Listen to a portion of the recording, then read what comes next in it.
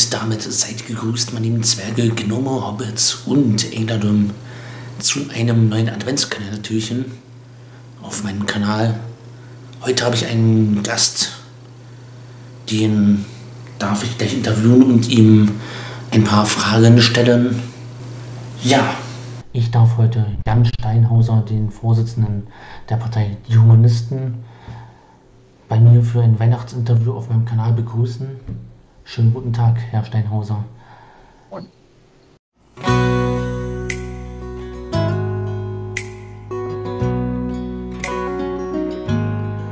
Ähm, dann kommen wir direkt zur ersten Frage. Erste Frage. Ihre Partei, die Humanisten, schreibt sich den Humanismus auf die Fahnen. Wie wollen Sie mit Ihrer Partei die Ziele des Humanismus in der Politik umsetzen? Ist Humanismus in der deutschen Politik umsetzbar?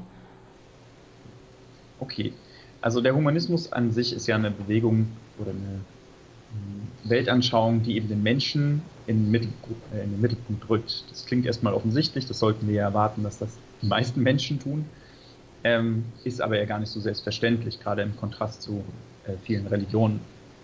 Deswegen ist für uns diese große Betonung darauf, dass wir eben sagen, als evolutionäre Humanisten, der Mensch ist Teil der Natur, Teil seines Umfelds, ist daraus gewachsen und alles, was wir an Interpretationen der Welt sehen, geht vom Menschen aus. Also Ethik, Werte sind menschengemacht, menschengegeben. Was das jetzt für Politik bedeutet, ist bei uns vor allem kritisch-rationaler Diskurs. Also wir möchten kein fixes Dogma haben, das wir voraussetzen, wenn wir zu jeglichem Thema eine Position erarbeiten. Also die die Basis für uns sind natürlich äh, die Menschenrechte, die Humanismus ohne gerade die mhm. UN-Menschenrechtskonvention funktioniert nicht so richtig. Also wir möchten die natürlich konsequent umsetzen, also wie wir das eigentlich auch von allen anderen Demokraten erwarten. Ähm, und dazu gehört dann ähm, eben ein wissenschaftliches Weltbild, ein aufgeklärtes Weltbild und damit dann auch ein starker Fokus auf Bildung, persönliche Freiheit und mhm. den Anspruch bzw. das Menschenbild, dass jeder Mensch grundsätzlich eben die Fähigkeit hat, frei nach Kant äh, mündig zu sein und damit auch was Gutes zu schaffen. Das bedeutet dann zum Beispiel eine sehr starke Bildungsförderung, es bedeutet starkes Streben zu einer aufgeklärten Gesellschaft, also mehr Informationen schaden in der Regel nicht. Es bedeutet, dass wir Säkularisierung, also die Trennung von Staat und Religion, noch stärker vorantreiben wollen und wissenschaftliche Förderung, also der sozusagen der Glaube, dass wir mit Wissenschaft grundsätzlich ähm, positive Dinge schaffen können, ein besseres Verständnis der Welt, uns auch neue Optionen auftut, mit denen wir grundsätzlich die Menschheit voranbringen können und nebenbei neben der Menschheit auch alle anderen Lebewesen, also dass man Leid verringern kann im Allgemeinen. Das sind so Fundamente für unsere Position. Also eben Bildung, Wissenschaft, Säkularisierung, und grundsätzlich das Bild, dass der Mensch äh, frei und vernünftig sein kann und er dazu vielleicht nur ab und zu mal einen richtigen Stups braucht und ein bisschen Unterstützung, das Richtige zu machen. Frage 2, komme ich gleich zur zweiten Frage. Die rational-liberale Partei der Moderne, so bezeichnet sich Ihre Partei und so steht es auch auf der offiziellen Parteiwebsite. Wie passt dies zueinander und wie passt die Liberalität zu dem Humanismus?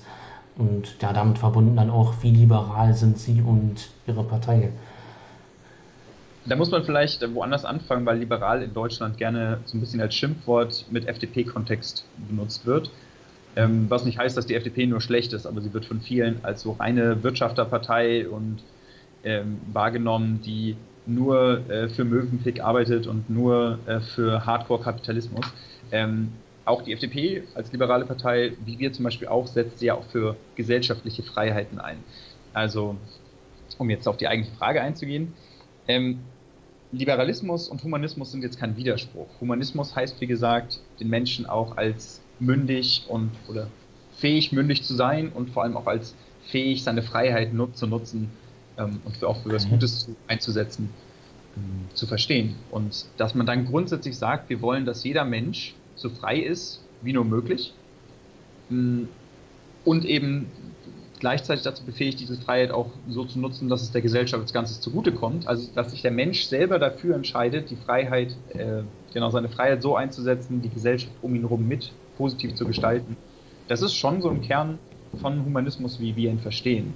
Und wie liberal sind wir? Wir sind halt so liberal, dass wir sagen, äh, überall da, wo eine Entscheidung einer Einzelperson nur oder primär diese Einzelperson betrifft, da sollte diese Person auch eben so frei sein, dass sie sich selbst entscheiden kann.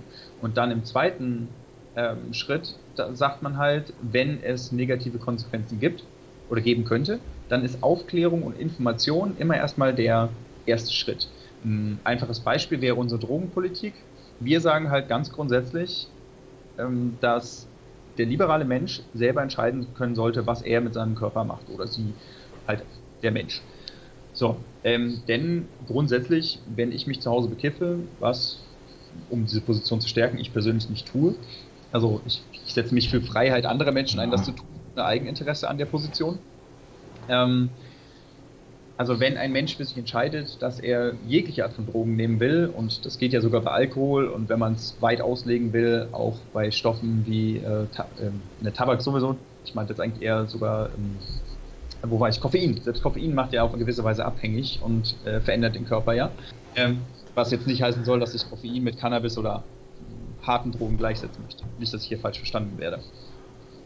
Ähm, aber der Punkt ist, dass jeder Mensch für sich frei entscheiden können sollte, welche Stoffe er zu sich nimmt, solange er dann natürlich, ähm, was die meisten Drogen betrifft, nicht zum Beispiel am Straßenverkehr teilnimmt. Wenn jemand ähm, bekifft Auto fährt und dann jemanden überfährt, dann ist das natürlich ein Problem, aber das liegt dann nicht an einem Drogenkonsum, sondern es liegt am Drogenkonsum in Kombination mit einem Autofahren. Ähm, also das muss man dann unterschiedlich regulieren und getrennt betrachten. Da muss man dann halt eben mit Infokampagnen rangehen. Da kann man zum Beispiel in diesem Beispiel sehr banal Ressourcen, die wir gerade auf ähm, Strafverfolgung einsetzen, in Infokampagnen und sogar Ausstiegshilfen äh, investieren und die Leute so befähigen, dass sie erstens gut informiert sind, wenn sie was nehmen wollen und zweitens, wenn sie es nicht mehr nehmen wollen oder sie oder ihr Umfeld das Gefühl haben, diese Person braucht Hilfe, dass genug Hilfe vorhanden ist, um diesen Leuten auch zu helfen aus dem Drogenkonsum wieder auszusteigen oder ihn zu reduzieren, je nachdem. Dann darf ich zur Frage Nummer drei kommen, um nochmal in die Richtung rational nochmal zu gehen. Ähm, Sie sagen, um es nochmal zu erklären, Sie sagen ja als Partei auch, dass Politik faktenbasiert gemacht werden soll. Gibt es nicht auch manchmal Themen, bei denen man emotional entscheiden muss, statt rational? Wo man manchmal auch ein bisschen mit den Gefühlen gucken muss. Wenn zum Beispiel Tausende von Flüchtlingen im Mittelmeer ertrinken, wie kann man da noch rational handeln oder rational entscheiden? Ach so, naja, ähm, um bei dem Beispiel direkt zu bleiben, da wüsste ich jetzt selber nicht so. Hm. Also, was man da vielleicht anführen kann, ist die Diskussion um den sogenannten Pull-Faktor. Also, dass man sagt, wenn man Menschen hilft im Mittelmeer, dass eventuell mehr Menschen aufs Mittelmeer gehen und dann langfristig, weil man es nie schafft, alle zu retten, so, so, so sicher ist kein Sicherheitsnetz, dass dadurch, dass, wenn es diesen Pull-Faktor gibt, mehr Leute aufs Meer gehen, langfristig sogar mehr ertrinken würden, als in dem Fall, wenn wir von vornherein die paar Schiffsbrüchigen, die es gibt, nicht gerettet hätten. Sowas ist vielleicht das Beispiel, oder? Was jetzt nicht heißen soll, dass diese Position äh, einnehme. So, ähm, natürlich haben wir ein Wertefundament. Das habe ich vorhin ja auch. Habe ich das vorhin? Nee, Entschuldigung. Das wollte ich vorhin sagen, nämlich die UN-Menschenrechte. Also, dass man natürlich sagt, es gibt bestimmte Dinge, auf die einigen wir uns. Es gibt bestimmte Grundrechte, die müssen eisern verteidigt werden.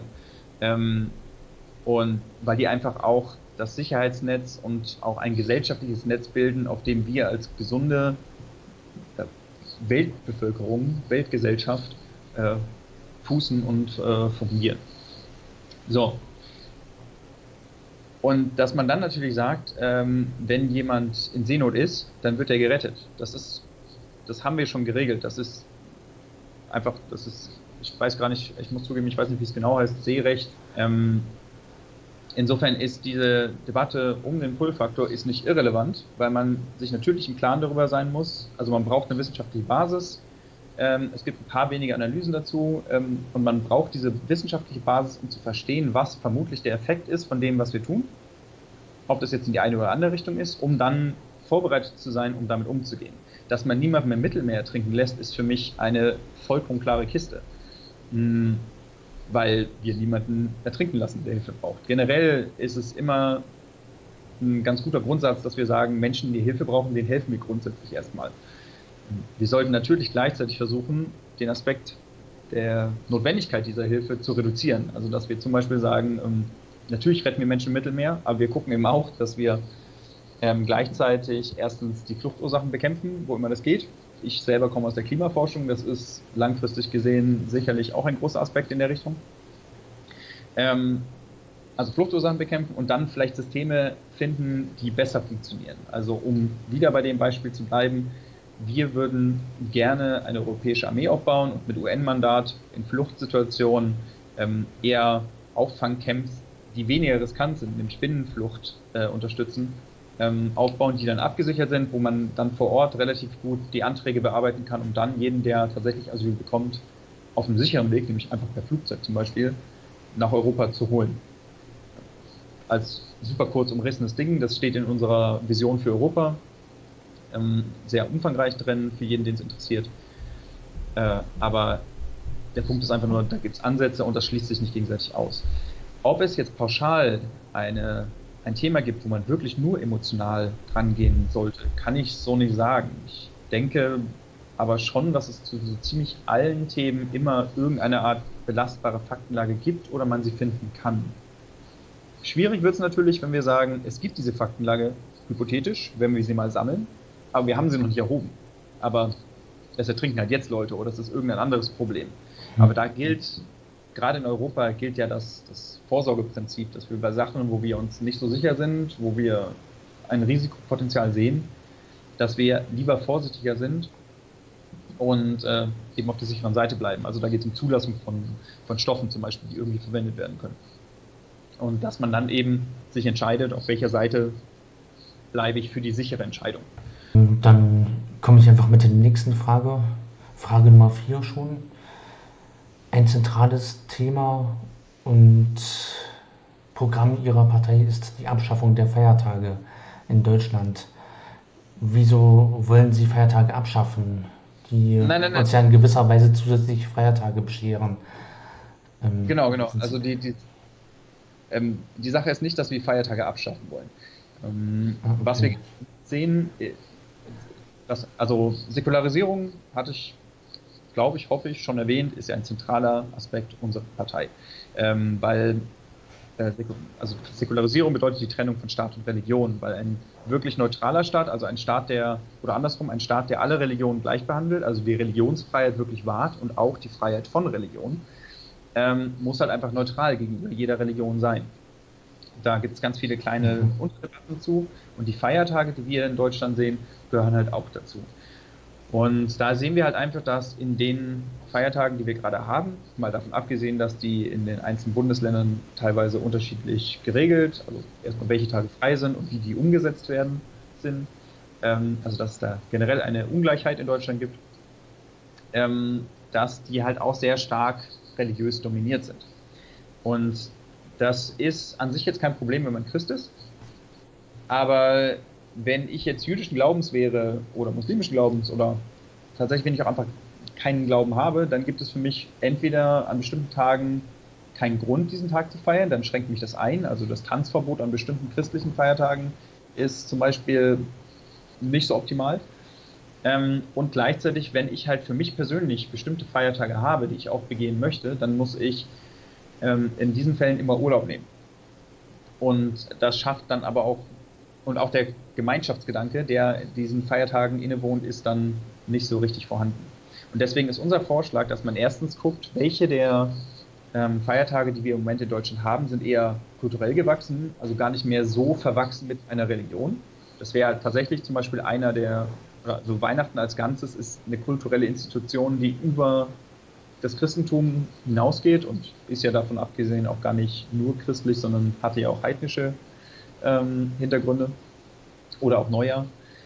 Ähm, und dass man die halt in irgendeiner Form erhält, aber tatsächlich einfach allgemeiner kommuniziert, nicht nur im christlichen Gedanken, sondern eben einfach als Familienfest. Und dass man halt gleichzeitig sagt, man sollte deutschlandweit ein gewisses Kontingent haben an Feiertagen, die man fest nehmen kann, die man zum Beispiel am Anfang des Jahres oder in irgendeiner Form an der Schule oder beim Arbeitgeber anmeldet und sagt, ich bin halt zum Beispiel Muslim, ich möchte gerne das Zuckerfest frei haben. Ähm, ähm, oder Kwanzaa interessiert mich total. Oder was wir als Beispiel mal genommen haben, ich bin Fußballfan und die WM ist mein höchster Feiertag. Ähm, dann von mir aus auch das, ich schreibe niemandem vor, das ist ja genau der Punkt, was die höchsten Feiertage für eine bestimmte Position, äh, Person sind. Und in den meisten Gruppen findet man dann ja auch genug andere Leute, die das als Gemeinschaftsevent mit einem zusammen feiern. So. Und durch diese andere Regelung mit weniger fixen Feiertagen, es müssten acht sein, wenn ich es richtig im Kopf habe, davon mehr, die gar nicht religiös geprägt sind, sondern eher kulturell auf Deutschland bezogen. Also zum Beispiel der Tag der deutschen Geschichte war ein Vorschlag, ähm, der ähm, Tag der, ähm, der Europatag wäre eine Idee, der Tag der Wissenschaft wäre eine Idee, ähm, der Tag des Humanismus natürlich auch. Also bestimmte Tage, die also klar, der Tag des Humanismus klingt jetzt auf uns bezogen, aber es geht eher darum, dass es Tage sind, die für die gesamte deutsche Gesellschaft von Relevanz sind. Und Aufklärung und Fortschritt sind was, was uns alle eint. Oder sollten zumindest uns alle einen. Deswegen solche Vorschläge. Und dazu das flexible Kontingent. Mhm. Ähm, Komme ich direkt zur Frage Nummer 5. Der Klimawandel. Natur- und Umweltschutz sind aktuell sehr heiße Themen in der Politik. Was wird die Partei Die Humanisten für den Umweltschutz und gegen den Klimawandel tun? Also grundsätzlich sind, gehören wir zu den Parteien, die den Klimawandel ganz klar als eines der größten, wenn nicht sogar das größte aktuelle Problem, zumindest auch mittel- bis langfristig, einstufen, das wir haben, weil es einfach viele Folge, also Folgen gibt, die wir schon absehen können, wenn auch immer, äh, wenn es auch Unsicherheiten bei den genauen Größenordnungen gibt und eben auch viele Folgen, von denen wir den Schaden eben nicht abschätzen können. Das ist ja eines der großen Probleme bei dem Klimawandel. Auch der Bereich Klima- und Umweltschutz ist bei uns eine der aktivsten, also die, Mitte, also die Mitglieder, die in dem Bereich arbeiten, sind besonders aktiv. Ähm, dazu haben wir auch schon sehr umfangreiche Konzepte erarbeitet und wir haben eine ganze Reihe an Ansätzen. Also da geht es, na, wo fängt man da immer an? Es ist halt sehr viel. Also das Problem am Klimawandel ist, dass es ein globales Problem ist und dass man natürlich auch global muss. Ähm, der Impact von Deutschland als Einzelland ist nicht so groß, dass wir jetzt hier das Klima retten. Er ist aber so groß, dass er dafür sorgt, dass wir viel machen müssen, allein schon in unserer Vorbildfunktion. Also äh, Deutschland hat, wenn man das so anteilig beschreibt, einen doppelt so hohen Fußabdruck, wie es eigentlich haben dürfte. Also es ist allein der Fairness wegen gehören die Industriestaaten mh, zu denen, die heute sehr viel tiefer greifen müssen. So, ähm, und da gibt es jetzt natürlich verschiedene Ansätze. Ähm, der erste Teil ist, dass wir ganz klar auf der Seite der CO2-Bepreisung stehen ähm, und das aktuelle Klimapaket ist da leider eher schwach.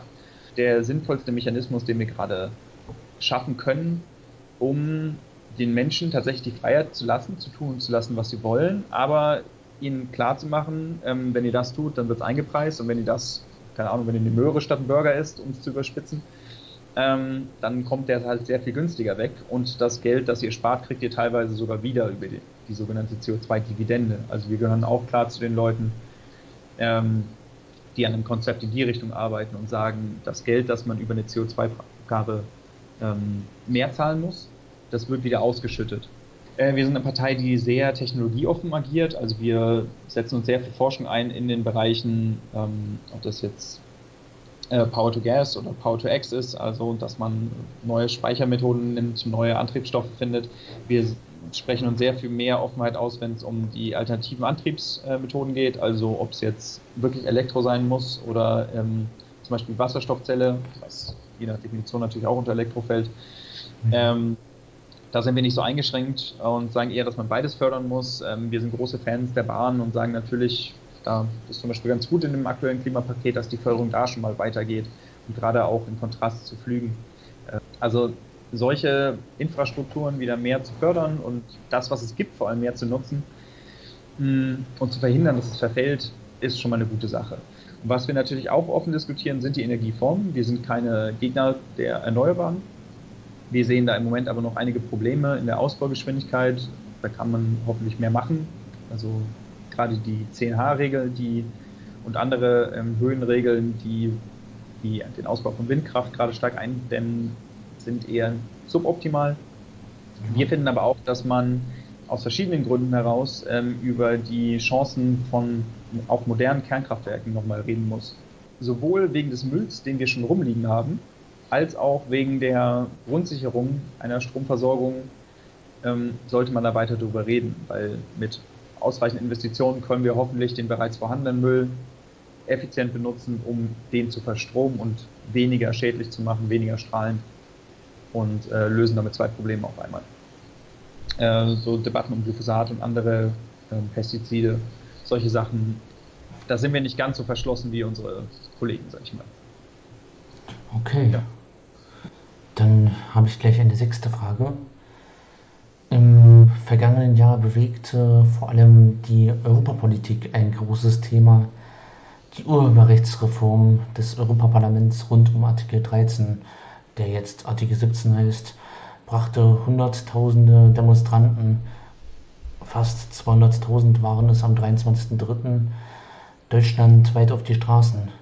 Trotz, der, trotz dem großen Protest wurde der sehr umstrittene Artikel 13 der Urheberrechtsreform mit großer Mehrheit im Europaparlament beschlossen. Wie ist Ihre Meinung dazu und wie stehen Sie und Ihre Partei zu der EU-Richtlinie? Also in aller Kürze, wir finden das mau.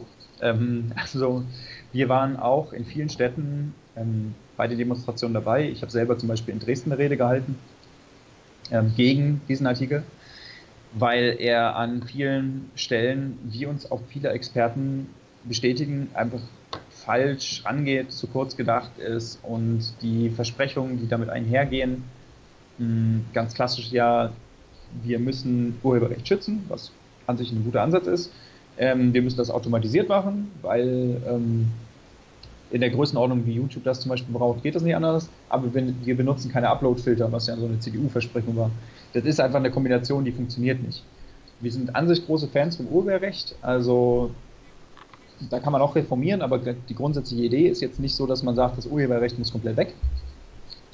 Ähm, und wir finden auch, dass Leistung eben ähm, vergütet werden sollte. Also das ist tatsächlich nochmal eine Diskussion von der ganz anderen Seite. Kriegt man aktuell ja auch bei Spotify zum Beispiel wieder viel mit, dass Künstler da eher äh, schlecht darstellen, äh, dastehen und solche Geschichten. Ähm, aber es kann halt nicht so umgesetzt werden, wie das diese EU-Richtlinie vorsieht. Wir haben da auch ähm, in der Zeit immer wieder Sachen zu veröffentlicht und in jüngster Zeit konnten wir ähm, dem Bundesministerium für Justiz und Verbraucherschutz unsere Meinung in Textform zuschicken. Die haben Input gesammelt, wie wir uns das vorstellen und also wie wir grundsätzlich, genau wie die Frage jetzt war, zu dem Ding stehen und mhm. eben zur nationalen Umsetzung, wie wir uns das vorstellen. Ähm, und was uns wichtig ist, ist, dass, Schutz, dass Meinungsfreiheit und Kunstfreiheit geschützt werden, das Overblocking, hm, was sehr stark befürchtet wird, wenn nicht passiert, also optimal wäre, wenn es nicht passiert, das ist kein realistischer Gedanke, aber ähm, dass es Mechanismen gibt, um das aufzuheben und auszugleichen. Ähm, dass Werbeeinnahmen von YouTubern, also das ist ja ein bekanntes Beispiel, dass die geschützt sind, also, weil es halt sein kann, dass durch solches Overblocking ähm, gerade die ersten, die wichtigen ein, zwei Tage am Anfang einfach mal wegbrechen. Das ist tatsächlich einfach, das ist halt finanzieller Schaden für Betreiber. Ähm, und zum Beispiel Schutz von Foren war auch sehr wichtig für uns insofern hoffen wir jetzt mit allen anderen und gerade der YouTube-Community auch, dass das halbwegs sinnvoll umgesetzt wird. Alles klar. Oder, oder zurückgerollt, das wäre natürlich auch noch eine Option, aber ja. das, äh, da darf man halt nur hoffen. Ja. Viele junge Menschen wollen bei den Wahlen mitentscheiden und selbst ihre politischen Vertreter in die Parlamente wählen. Doch leider sind die Wahlen zum Landtag zum Bundestag und zu Europa, zum Europaparlament immer noch ab 18. Was sagen Sie zu der Senkung des Wahlalters? Was ist Ihre Meinung dazu? Das haben wir, da haben wir schon sehr lange für argumentiert. Also Wahlalter auf 16 ist für uns eine relativ klare Kiste. Unser Hauptargument für erstmal die 16er Geschichte ist tatsächlich auch als politischer Kompromiss, muss man sagen. Also es ist einfacher ähm, zu verkaufen, dass man das erstmal auf 16 absenken will und sozusagen dann auch Erfahrungen sammeln, wie das eventuell das Ergebnis verändert, ähm, beziehungsweise wie das allgemein funktioniert, äh, bevor man dann in extreme Forderungen reingeht. Unser Hauptargument gegen die aktuelle Regelung ist, dass die meisten Wahlen erst ab 18 sind, ist, dass es einfach kein haltbares Argument dafür gibt, warum das so ist. Hm, auch dazu haben wir ähm, eine, einen schönen, längeren Text veröffentlicht. Es gibt halt eigentlich keinen sinnvollen Grund. Manche Leute würden vielleicht damit argumentieren, dass man nicht ausreichend informiert ist, wenn man noch 16 ist und sich mit dem politischen System nicht auskennt. Da könnte man jetzt natürlich gegenhalten, dass zumindest gefühlt na eigentlich nicht nur gefühlt, äh, viele Menschen, die mit 18 wählen gehen, da jetzt nicht viel besser dran sind. Und umgekehrt ist da wieder unser Aspekt mit der Aufklärung drin. Wenn man sich darum Sorgen macht, dann kann man ja einfach den Leuten noch mehr Bildung zukommen lassen. Schaut man sich gerade die Landtagswahlen im Osten in diesem Jahr an, sieht man vor allem eine Farbe auf der politischen Landkarte leuchten. Die NS, äh, Verzeihung, die AfD hat bei den Landtagswahlen große Mengen an Wählerstimmen für sich gewonnen. Gerade durch den rechtsextremen Flügel der Partei unter Bernd Höcke erlangt die AfD großen Zuspruch auch bei den Neuwählern. Wie ist Ihre Position zu, den, zu dieser rechtsextremen Partei? Ähm, wir finden die sehr suboptimal. Also, wir haben eine äh, sogenannte Unvereinbarkeitsliste. Das sind ist eine Liste, die sagt, mit welchen Organisationen wir nicht zusammenarbeiten und vor allem auch mit denen wir, ähm, da wir Doppelmitgliedschaften erlauben, welche Mitgliedschaften in bestimmten Organisationen verhindern, dass man bei uns Mitglied werden kann, was natürlich nur logisch ist, wenn wir mit denen auch nicht zusammenarbeiten würden. Die AfD steht da uneingeschränkt drauf, nicht zuletzt auch ähm, wegen des rechten Flügels, also wegen des Flügels, ähm, weil um das, äh, um die Debatte da auch ein bisschen zu, zu erden. Zwar nicht jeder, der in der AfD aktiv ist, ein äh, Rassist ist, anders als vermutlich jeder, der im Flügel aktiv ist. Aber jeder, der in der AfD aktiv ist, toleriert die Existenz vom Flügel. Und das alleine reicht eigentlich schon, um zu sagen, das ist für uns Niemandsland. Also man kann sich die Themen anhören, die die AfD einbringt und man darf Themen, die die AfD für sich einnimmt, nicht pauschal vom Tisch wischen, weil das Problem ist, dass die dann ähm, Deutungshoheit bekommen. Aber man sollte sich sehr gut überlegen, und für uns ist es eigentlich relativ klar, ob man sich mit diesen Leuten direkt an den Tisch setzen will. Also Themen angucken, für sich einschätzen, muss ich jetzt über dieses Stöckchen springen, das mir hinhalten, oder ist das tatsächlich ein relevanter äh, Beitrag, ist es relevanter Input? Ähm, und dann über das Thema und vielleicht mit den Wählern reden. Die Partei selber ist für mich verbrannte Erde. Es wäre halt auch schwierig, wenn wir sagen, wenn alles, was die AfD macht, ähm, ist für uns pauschal ähm, nicht haltbar. Da gab es letztens auch gerade wieder eine EU-Abstimmung und die AfD hat halt in unserer Richtung abgestimmt, die Grünen naheliegenderweise, weil es die Grünen sind, äh, eben nicht. Also ähm, grundsätzlich würde ich trotzdem vermuten, dass wir den Grünen sehr viel näher sind als der AfD. Ähm, aber ich freue mich natürlich trotzdem, wenn in einem Bereich, in einem Thema, das uns wichtig ist und dass wir vielleicht aus anderen Gründen als die AfD ähm, mit einem ähnlichen Abstimmungsergebnis, also wo wir ähnlich abgestimmt hätten, naja, dann freue ich mich trotzdem über jede Stimme, die das unterstützt, auch wenn das in der PR dann immer sehr schlecht aussieht. Wenn es die Humanisten nicht gäbe als Partei, welche Partei würden Sie wählen und bei der nächsten Wahl? Welcher würden Sie Ihre Stimme geben, wenn es die Humanisten nicht als Partei gäbe? Hm, wir sind da sehr gemischt. Also die Humanisten setzt sich zusammen aus Leuten, die aus verschiedenen Gründen die Grünen, die FDP, die SPD und teilweise die Linken nicht mögen, die sich aber jeweils denen am ehesten ähm, äh, äh, zugeneigt fühlen. So, ähm, das ist eben einmal der gesellschaftsliberale Teil, den teilen wir uns stark mit der FDP. Ähm, ich als zum Beispiel, also ich als ein starker Vertreter unseres äh, Klimaschutzflügels sozusagen bin natürlich wie viele von uns ähm, den Grünen grundsätzlich sehr zugeneigt ähm, und SPDler als so die, ja, die sozialliberale Mitte ist natürlich auch was, was vielen bei uns äh, zuspricht, äh, viele anspricht von uns. So, deswegen kann man das nicht so ganz pauschal sagen. Ähm, es gibt aber eben für alle von uns verschiedene Sachen, die uns an den einzelnen Parteien stört.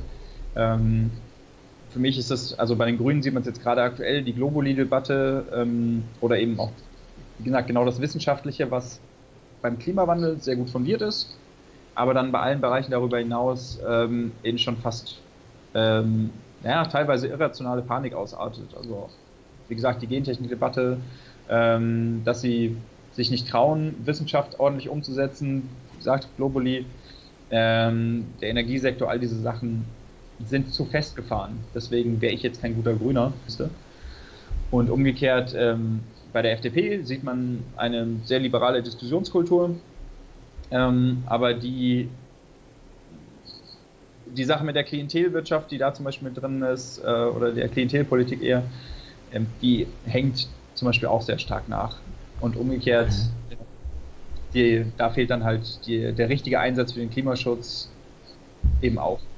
Und so dogmatisches Auftreten, also so, hm, man möchte fast sagen, so radikal freiheitlich, also ein, ein Geschwindigkeits, eine Geschwindigkeitsbegrenzung auf der Autobahn ist so das absolute No-Go, so ohne jede Diskussion sozusagen, weil das schränkt ja die Freiheit ein. Das ist auch schon wieder zu, zu stark. Und das stört mich dann wieder an der FDP. Was nicht heißt, dass ich jetzt eine, mhm. Geschwindigkeits, äh, eine Geschwindigkeitsbegrenzung auf der Autobahn will. Ich will nur offen darüber reden können, ohne dass man mir sagt, nee, also auf gar keinen Fall. Also ich höre jetzt hier hauptsächlich grüne FDP heraus. Ja, es ist so eine Mischung, genau, wir, wir, verstehen uns halt so als eine Mischung aus beiden. Ähm, und deswegen ist es fast schon tagesstimmungsabhängig, ähm, wo einzelne Mitglieder von uns sich eher verorten würden, wenn sie ähm, nicht bei uns aktiv werden. Ah, okay. Ist nicht ganz einfach zu beantworten, aber zum Glück gibt es uns ja auch. Ja. Dann hätte ich hier noch ein paar Community-Fragen, wenn das in Ordnung ist, dann würde ich die noch stellen. Ja, da fragt der Gudo, wie das mit den Verbänden auf kommunaler Ebene aussieht. Gibt es da etwas auf kommunaler Ebene? Also kommunal ist sehr klein gerade. Wir haben zwölf von 16 Landesverbänden, also in jedem Bundesland ähm, findet man uns.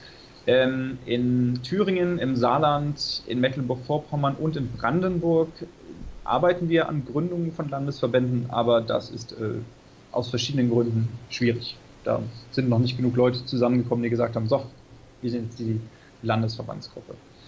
Und ähm, eher auf kommunaler Ebene haben wir gerade unseren ersten Kreisverband gegründet in äh, Karlsruhe. Das ist organisatorisch natürlich jetzt noch eine Ebene mehr und ein bisschen mehr Aufwand. Ähm, aber wir wollten das mal ausprobieren und mal gucken, wie stark man Mitglieder dann eben auf der Ebene einbinden kann. Und gleichzeitig haben wir dazu mhm. wirklich einen sehr starken Knoten. Also wir wachsen und wir haben, wie gesagt, vor allem Landesverbände und einen Kreisverband. Und gucken auch, was wir in Kommunalpolitik so machen können, aber man hat ja leider nur so viele Stunden in der Woche. Der Blues Brother fragt, was wollen Sie mit Ihrer Partei im kommenden Jahr erreichen? Gibt es schon Ziele für 2020? Ähm, also 2020 ist eventuell, eventuell ja wieder eine Bundestagswahl, da würden wir gerne antreten. Also ähm, soll ja erst 21, aber man weiß, man weiß ja nicht. Ähm, ja. Nächstes Jahr ist die ist auch Wahl in Hamburg. Das ist schon im, oh, lass uns jetzt nicht Juni, Februar. Ich glaube, es ist Februar, Februar oder März, aber jetzt gerade habe ich es nicht vor mir. Hm. Also auch da wollen wir antreten und na, was wir generell gerade intern machen, ist uns ähm, sozusagen neu und professioneller aufstellen. Also wir sind sehr ähm, flüssig gewachsen, wir, ähm, also sehr gesund gewachsen eigentlich seit unserer Gründung vor knapp fünf Jahren. Ähm, wir haben jetzt nicht das Problem, dass uns irgendwas äh, komplett auseinanderfällt oder so, wie man das bei anderen Parteien ähm, gesehen hat, die sich frisch gegründet haben. Ähm, dass uns irgendwas komplett um die Ohren fliegt oder sonst was, also dass interner Streit uns zersetzt.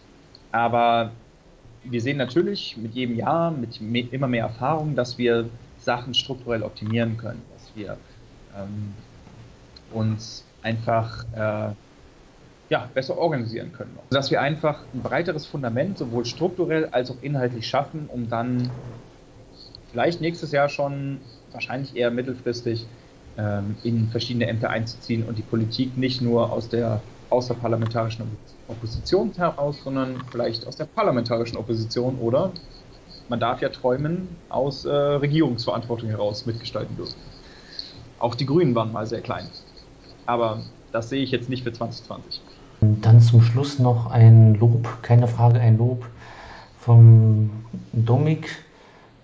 Der lobt sie in höchsten Tönen. Ich finde es toll, wie ihr Humanisten auf Faktenbasis Politik machen wollt. Was an sich ziemlich cool ist, aber auch die Kritik von ihm dann. Aber der Name passt dazu leider nicht. Oder ah. passt dazu leider weniger ja, das mit dem, der, der Name ist tatsächlich was, der uns schon lange umtreibt. Es ist immer schwierig, jetzt mal zwischendurch einen Namen zu ändern. Da gibt's, es gibt da Fürsprecher, es gibt da Leute, die sagen, ähm, äh, bloß nicht, das ist jetzt eine, ist halt jetzt eine Marke. Also wenn wir jetzt den Namen ändern, fangen wir quasi von Null an. Selbst dafür gibt es natürlich Fürsprecher. Ähm, aber dass man sagt, wir arbeiten faktbasiert, dass das komplett dem Namen widerspricht, da würde ich jetzt gar nicht mal unbedingt zustimmen. Aber äh, davon okay. abgesehen, vielen Dank für das Lob. das nehmen wir natürlich sehr gerne an. Ja. Aber wie gesagt, um, so, um so, sozusagen das Ganze rund zu machen, was Humanismus bedeutet und dieses Feedback, ähm, das ist eben der aufgeklärte Gedanke und der kritisch-rationale. Und dass man sich eben, dass man eben sein Weltbild und seine Ansätze hinterfragt. Und da kommt dieses faktenbasierte, meiner Meinung nach und auch einige anderer unserer Mitglieder schon mit dem Humanismus zusammen. Dass das natürlich auch ganz anders interpretiert werden kann, geschenkt. Da würde ich jetzt gar nicht gegen argumentieren. Okay, ja. Dann darf ich Ihnen trotzdem noch einen schönen vierten Advent wünschen, auch wenn Sie ihn wahrscheinlich nicht so feiern. Und ja, eine wunderschöne Weihnachtszeit dann und ja, ich bedanke mich für das Interview. Sehr gerne, vielen Dank für die Zeit. Und tatsächlich mag ich Kerzen und Tee auch, so ist es ja nicht. Ja. Na dann. Gut, dann schönen Tag noch. Schönen Tag noch. Und äh, eine, eine entspannte, natürlich Weihnachtszeit den allen äh, Zwergenfürsten Followern. Ja.